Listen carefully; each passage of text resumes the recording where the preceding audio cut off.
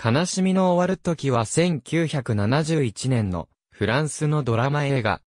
1970年に生まれて間もなく突然亡くなった監督のナディーヌ・トランティニャンの愛児の悲痛な実体験が元になっている。主演は夫にマルチェロ・マストロヤンに、その妻にカトリーヌ・ドヌーブが扮している。せっかく授かった我が子を突然の奇病で亡くした夫婦が悲しみに打ちのめされ、もがき苦しんだ後それを乗り越えようとする様を描いている。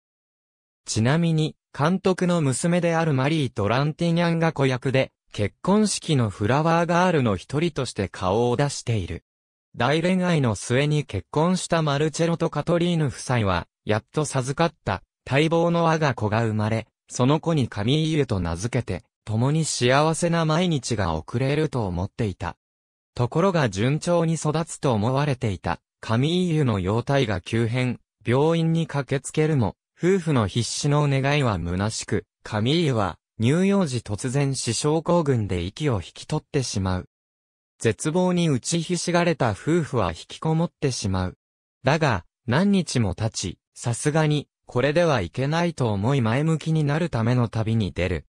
とはいえ、もちろんマナ娘のことを忘れることはできないが、二人は旅先である結婚式に遭遇し、偶然にも参加することになった二人は、賑やかな結婚式で数人の子供たちを見つける。無邪気な子供たちと接するうちにカトリーヌは、またしても、カミーユのことを思い出してしまうが。日本では一時期、アメリカ経由で、英語版が入ってきていた。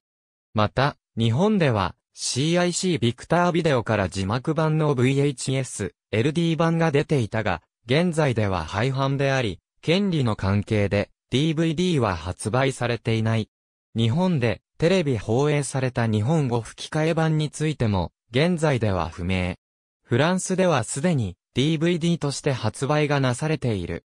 当初はこの映画の音楽担当はミシェル・ルグランだったが、諸事情によりミッシェル・ポルナレフに交代した。